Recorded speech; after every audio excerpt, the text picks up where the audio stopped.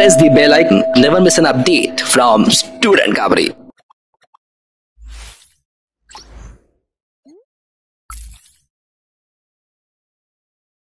Hey hey guys कैसे हो आप सब? मैं हूँ ज्योति और एक बार फिर से आप सबका स्वागत है स्टूडेंट खबरी की पाठशाला में, जहाँ मैं लेकर आती हूँ ऑनेस्ट रिव्यूज़ पूरी इंफॉर्मेशन स्टूडेंट से पर्टिकुलर कॉलेज यूनिवर्सिटी के बारे में, और आप तक वो पहुंचाती हूँ पूरे वीडियोस वो अपलोड करके उसकी इन्फॉर्मेशन आप तक लेकर आती हूँ। तो अगर आप हमारे चैनल में न्यू हो तो आप जल्द से जल्द उसको सब्सक्राइब कर लो और अपने दोस्तों तक भी शेयर करो, ताकि आपको कॉलेज में एनरोल होने से पहले एडमिशन लेने से पहले ही वो सब इन्फॉर्मेशन मिले, वो सब इंटरनल इन्फॉर्मेशन मिले, जो कि डायरेक्टली ऑफिशियल वेबसाइट कॉलेज नहीं प्रोवाइड करता है। वहाँ के स्टूडेंट्स भी इतने अच्छी तरीके से नहीं बता पाएँगे। हम लोग मेनली टाइप करके रखते हैं स्टूडेंट्स को हर कॉलेज के और यूनिवर्सिटी के। वो हमको रिव्यूज़ बताते हैं और वो हम आप तक पहुँचाते हैं। तो कंटिन्यूसली बने रहो और अपना एडमिशन से पहले तक मतलब अच्छे से पूरी इन्फॉर्मेशन ले पाओ आप। तो कंटिन्यूसली बने रहना उसके लिए। तो दोस्तों, मुझे मेनली बहुत कमेंट्स आ रहे थे।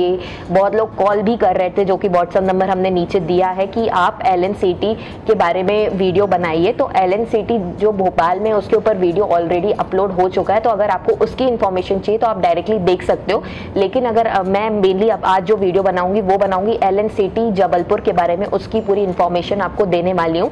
इसका जो फुल फॉर्म है, वो है Lakshmi Narayan college of technology Jabalpur में ये लोकेटेड है स्टेट एमपी स्टेट में लोकेटेड है ये कॉलेज ये 2008 में फाउंड किया गया था इस्टेब्लिशमेंट इस कॉलेज का 2008 में हुआ था। ये जो कॉलेज है एफिलिएटेड किया गया है मेनली दो अलग अलग यूनिवर्सिटी के साथ, एक ही एफिलिएशन है इनका आरजीपीवी भोपाल के साथ और दूसरा इनका एफिलिएशन है रानी दुर्गावती यूनिवर्सिटी जबलपुर में जो कि है उनसे इनका एफिलिएशन किया गया है। आ, इसको एग्रीडिटेशन भी दिया गया है All India Council for Technical Education के थ्रू डेट इज़ ए से इनको एग्रीडिटेशन दिया गया है। अगर मैं यहाँ के कैंपस इंफ्रास्ट्रक्चर की भी बात करूँ तो यहाँ का जो कैंपस है वो लगभग 33 एकर्स में स्प्रेड किया हुआ है फैला हुआ है। यहाँ का जो मेनली सबसे पास वाला रेलवे स्टेशन है वो क्या है बैरा घाट बैरा घाट का दो किलोमीटर की दूरी पर है, दो किलोमीटर के डिस्टेंस में तो यहाँ का आप पॉजिटिव पॉइंट ले सकते हो कि ट्रांसपोर्टेशन की फैसिलिटी जो है वो ईजिली आपको मिल जाती है एसेसिबल रहती है, आपके लिए डिफिकल्टी नहीं आती है, कि आपको आने जाने में व्हीकल नहीं मिल रहा है या क्या? तो वो भी यहाँ का पॉजिटिव पॉइंट आप बोल सकते हो कि कैंप सिटी के ही अंदर ये लोकेटेड है। और यहाँ मैंने बताया जैसे कि 33 एकर्स में फैला हुआ है तो हर फैसिलिटी जो कि बेसिक फैसिलिटी कॉलेज प्रोवाइड करता है, जैसे कि हॉस्टल फैसिलिटी हो गई गर्ल्स बॉयज़ के लिए सेपरेट लाइब्रेरी हो गया लैब हो गया, और वाईफाई हो गया, और ऐसे ही स्पोर्ट्स की फैसिलिटी हो गई बस की फैसिलिटी हो गई। तो ये सब कैफेटेरिया ये सब हर कोई जो कॉलेज प्रोवाइड करता है, ये इस कॉलेज में भी वो सब अवेलेबल करवाई जाती है स्टूडेंट्स को दिक्कत नहीं होती कि बाहर जाके उसको जाके कुछ सामान लेना है, उसको अंदर ही सब कुछ मतलब ईजिली मिल जाता है। अगर मैं यहाँ के कोर्सेज की भी बात करूँ तो यू जी लेवल के कोर्सेज यहाँ पे करवाए जाते हैं डिप्लोमा कोर्सेज यहाँ पे होते हैं एम बी यहाँ पे करवाया जाता है और बीई और एम मेनली टेक्निकल फ़ील्ड में यहाँ पे होता है। जो बीई होता है यहाँ पे मेनली चार स्पेशलाइजेशन में होता है, एक मैकेनिकल सिविल सीएस में और इलेक्ट्रॉनिक एंड कम्युनिकेशन इंजीनियरिंग में। यहाँ की जो सीट्स भी है इनटेक करते हैं, ये लोग सिक्सटी लिमिटेड रहती हैं तो आप ऐसा नहीं बोल सकते कि सिक्सटी ही सिर्फ़ सीट्स बढ़ती हैं, आगे पीछे वो हो ही जाता है एज यूजल हर कॉलेज में वो तो होता है तो ये भी हो जाता है यहाँ पे भी।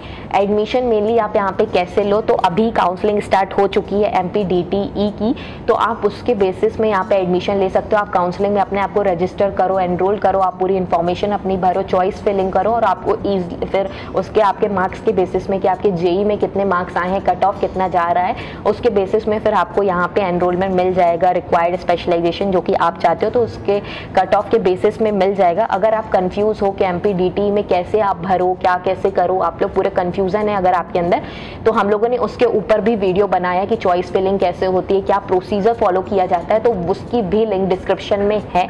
तो आप इजिली देख सकते हो कि कैसे काउंसलिंग होती है क्या क्या प्रोसेस की जाती है। तो स्टेप बाय स्टेप उसमें आपको इन डेप्थ में सब कुछ बताया गया तो आप वहाँ से देख सकते हो ईजिली यहाँ पे अगर इवेंट्स की भी बात करो तो बहुत से सोशल लाइफ इवेंट्स करवाए जाते हैं, बहुत से बहुत से जैसे कि रिपब्लिक डे ये सब नॉर्मल फ़ंक्शंस भी यहाँ पे होते रहते हैं। इनका एक रीजन भी एक फेस्ट है, वो करवाया जाता है यहाँ पे। तो रेगुलर बेसिस में एनुअल बेसिस में यहाँ पे फेस्ट वगैरह होते रहते हैं इंडस्ट्रियल विज़िट वगैरह भी करवाई जाती है बच्चों को। तो वो भी आप बोल सकते हो कि कॉरपोरेट कल्चर से स्टूडेंट को रेगुलर बेसिस में इंडस्ट्रियल विज़िट हो रही है तो उनको बहुत एक्सपोजर मिल रहा है अलग अलग स्किल्स सीखने को मिल रही हैं।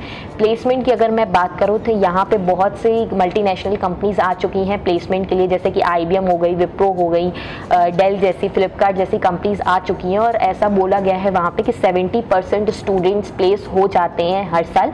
तो वहाँ पे भी बोल सकते हो कि हाँ प्लेसमेंट यहाँ का अच्छा है कि 70 परसेंट बच्चों को प्लेस किया जा रहा है अच्छी अच्छी कंपनीज़ में यहाँ की फैकल्टी भी यंग है एनर्जेटिक है तो वो भी डिफ़िकल्टी नहीं आती है बच्चों के लिए। अच्छे हैं वो फैकल्टी एक्सपीरियंसड है, आप बोल सकते हो। लैब इक्विपमेंट हो गया, ये सब भी बहुत अच्छा है। इंफ्रास्ट्रक्चर मेनली अच्छा बनाया गया है। यहाँ पर स्टूडेंट्स बहुत कॉपरेटेड है कॉपरेटिव है। यहाँ के स्टूडेंट ओरिएंटेड टाइप का यहाँ पे इन्वॉर्मेंट है। अगर मैं कुछ कॉन्स्टेंट की भी बात करूँ तो एक्स्ट्रा करिकुलर एक्टिविटीज़ में इतना ज़्यादा एक्टिव पार्टिसिपेशन स्टूडेंट्स का नहीं होता है। इतना ज़्यादा एक्सपोजर नहीं मिलता है उनको कहीं ना कहीं तो यह यहाँ का नेगेटिव पॉइंट कहीं ना कहीं आ जाता है। हॉस्टल फैसिलिटीज़ भी बहुत लिमिटेड है पीजी वगैरह ज़्यादा बच्चे हायर करते हैं, बाहर ज़्यादा मतलब रहना पसंद करते हैं यहाँ पे, क्योंकि बहुत लिमिटेड सीट्स ही रहती हैं हॉस्टल वगैरह की भी।